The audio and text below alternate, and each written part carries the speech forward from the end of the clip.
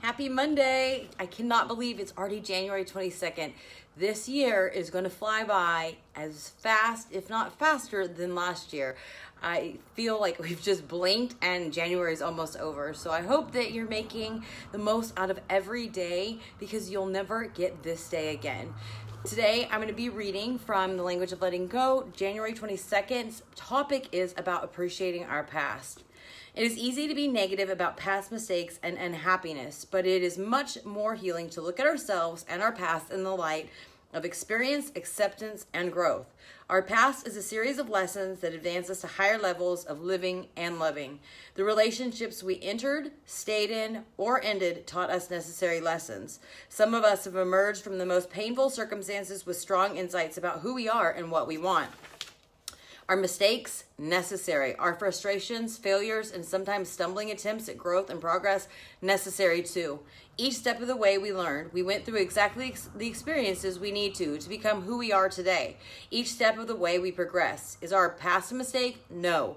The only mistake we can make is mistaking that for the truth. Today, God, help me let go of negative thoughts I may be harboring about my past circumstances or relationships. I can accept with gratitude all that has brought me today. And that's something that I share openly all the time is that I dwelled on the past. I let the past define me. I took everything personal. I allowed myself to be the victim and I asked why me?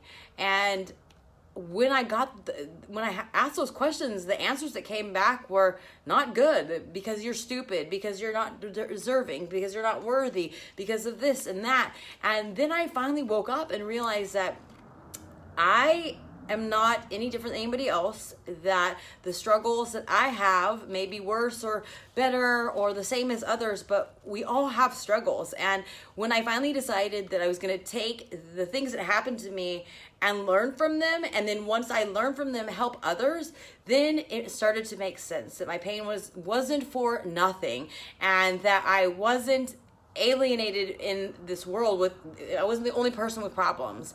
And it's helped me by opening up, talking about these things, accepting them. I found other people who feel the same way or have experienced the same thing and we have banded together and been able to heal. And so whatever you're struggling with, honestly, I think about all the times that I thought the sky was falling and now looking back they were just parts of life. And many of them i learned lessons from and it's helped me to not make the same mistakes. And you know i see some of the people making the same you know um, mistakes or, or living the same year over and over and over again.